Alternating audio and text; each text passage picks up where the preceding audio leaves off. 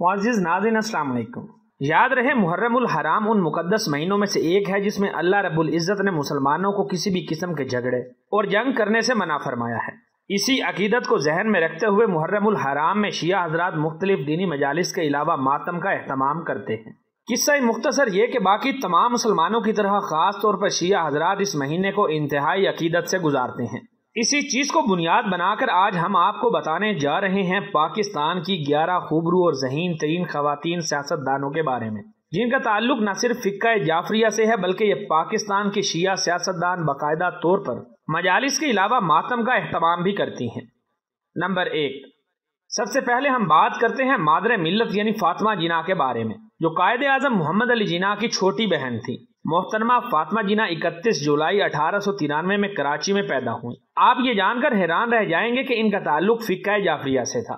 इसलिए आप मुहर्रमुल हराम में मजालिस का बाकायदा अहतमाम करने के अलावा मातम भी करती थी। सियासी तौर पर ये All India Muslim League party से मुंसलिक थी। इन्होंने पाकिस्तान की तहरीक आज़ादी में कायदे आज़म का भरपूर साथ दिया। याद रहे कि वो पेशे के लिहाज से एक सियासतदान और डेंटल सर्जन थी। साल उन्नीस में इन्होंने डिक्टेटर अयूब खान के खिलाफ इलेक्शन लड़ा। लेकिन बदकिस्मती से इन्हें कामयाबी ना मिली, जबकि इनका इंतकाल 9 जुलाई उन्नीस सौ सड़सठ में कराची में हुआ। दूसरे नंबर पर मौजूद पाकिस्तान के शिया सियासतदान खातून किसी भी तारुफ की मोहताज नहीं है, क्योंकि आप यकीनन न सिर्फ़ इन्हें जानते होंगे, बल्कि बहुत से लोग इनसे मोहब्बत और अकीदत भी रखते हैं। जी हाँ मैं बात कर रहा हूँ मोहतरमा बेनजीर भुट्टो साहिबा की। ये 21 जून उन्नीस सौ तिरपन को कराची में पैदा हुई। हैरान कन तौर पर मोहतरमा बेनजीर भुट्टो का ताल्लुक भी शिया मसलक से था। यानी बेनजीर भुट्टो भी बाकायदा तौर पर मजालिस का अहतमाम करने के अलावा मुमकिन तौर पर मातम भी करती थी। वाजह रहे इन्होंने अपने वालिद जुल्फकार अली भुट्टो की वफात के बाद पीपल्स पार्टी का कंट्रोल अपने हाथों में लिया तो इन्हें पाकिस्तान के ग्यारहवें और तेरहवें वज़ीर आज़म बनने का एजाज हासिल हुआ। मगर तारीख में इन्हें इसलिए याद रखा जाएगा कि वो किसी भी मुसलमान मुल्क की पहली खातून वज़ीर आज़म थी। इन्होंने आठ फरवरी दो हज़ार आठ को वफात पाई। तीसरे नंबर पर आपको बताता चलूँ कि डॉक्टर फहमीदा मिर्ज़ा का ताल्लुक भी शिया फिरके से है। ये 20 दिसंबर उन्नीस को कराची में एक सियासी घराने में पैदा हुई। इनके वालिद काजी अब्दुल मजीद आबिद भी एक सियासी शख्सियत थे। वाजर मोहतरमा फहमीदा भी अहल तशी होने की वजह से मुहर्रमुल हराम में मजालिस का बाकायदा अहतमाम करती हैं, जबकि हर साल मातम में भी अपना हिस्सा डालती हैं। अगर इनके सियासी कैरियर की बात की जाए तो इन्होंने अपना सियासी कैरियर का आगाज़ उन्नीस में पीपल्स पार्टी से किया।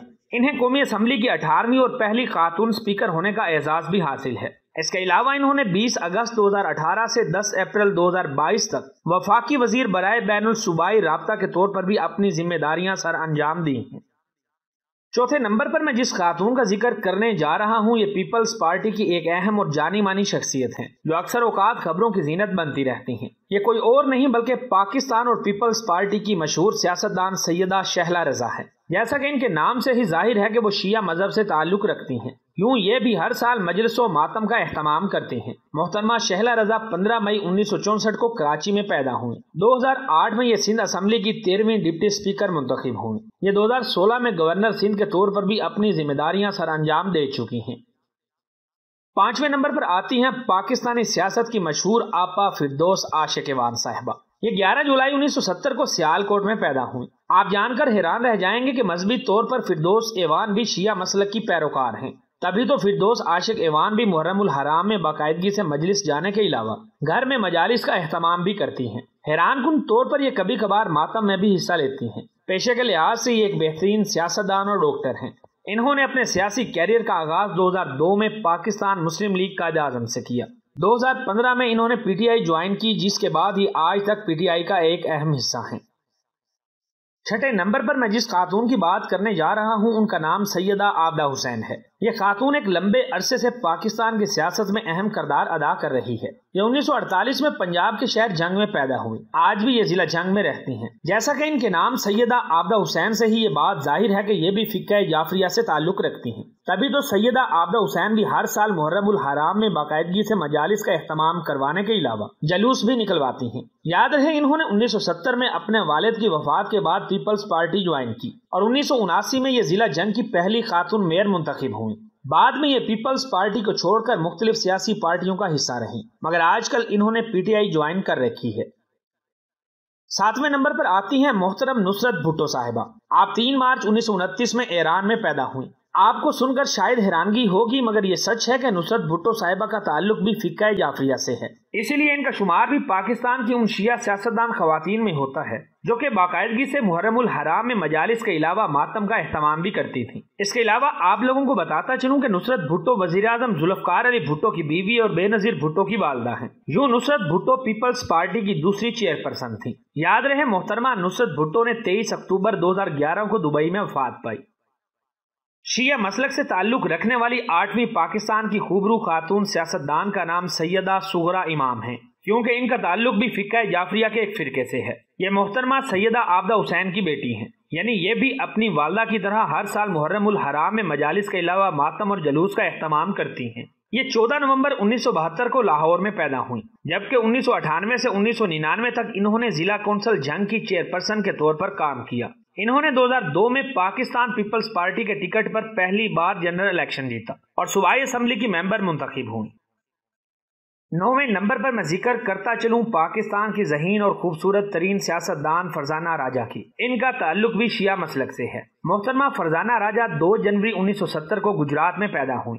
ये भी शिया मज़हब से ताल्लुक रखने की वजह से हर साल मुहर्रमुल हराम के जुलूस, मातम और मजालिस का अहतमाम करती हैं। वाजर है, फरजाना राजा सियासी तौर पर पाकिस्तान पीपल्स पार्टी से मुंसलिक है। इन्होंने 2008 में पीपल्स पार्टी के टिकट पर इलेक्शन लड़ा और 2013 तक पाकिस्तान नेशनल असम्बली की मेंबर रही। 2008 से 2013 तक ये बेनजीर इनकम स्पोर्ट की चेयरपर्सन भी रह चुकी हैं।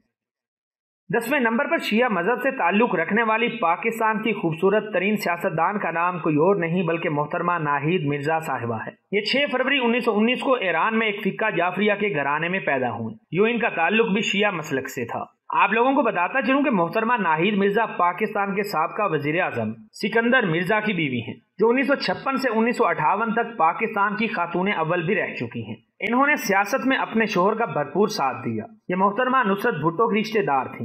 इनका इंतकाल 23 जनवरी 2019 में निन्यानवे साल की उम्र में हुआ। ग्यारहवें और आखिरी नंबर पर आती हैं मोहतरमा आसफा भुट्टो जरदारी, जो कि मोहतरमा बेनजीर भुट्टो और आसिफ अली जरदारी की बेटी हैं। अपने वालिद और वालदा की तरह इनका ताल्लुक भी शिया मसलक से है। आसफा भुट्टो तीन फरवरी उन्नीस सौ तिरानवे को अमरीका में पैदा हुई, जबकि ये आजकल अपने भाई और वालिद के हमरा सियासत करने के अलावा इस वक्त पोलियो के खात्मे के लिए अकवाम मतहदा की सफ़ीर के तौर पर भी खिदमत सर अंजाम दे रही तो दोस्तों, ये थी पाकिस्तान की उन सियासी खातन की लिस्ट जिनका ताल्लुक फ़िक्का जाफरिया से है। उम्मीद करता हूँ आपको ये मालूम पसंद आई होंगी। मालूम पसंद आने की सूरत में इसे अपने दोस्तों के साथ फेसबुक व्हाट्सएप और दीगर सोशल मीडिया प्लेटफॉर्म पर भी शेयर करें। मजीद ऐसी वीडियोस देखने के लिए वीडियो को लाइक और चैनल को सब्सक्राइब करने के बाद घंटी के निशान पर भी क्लिक करके ऑल नोटिफिकेशन पर क्लिक करना ना भूलें। ताकि नई आने वाली हर वीडियो आपको बाकायदगी से मिलती रहे।